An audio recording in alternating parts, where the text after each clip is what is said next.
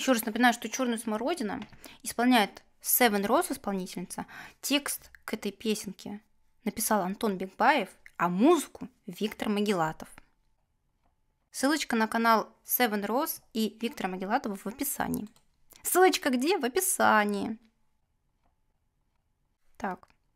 Почему я ее исполню еще на следующий стрим? Во-первых, потому что песня очень мне нравится, а еще потому что следующий стрим будет у нас посвящен Виктору Могилатову и прекрасной исполнительнице Seven Rose. Ну и, конечно же, моему день рождения.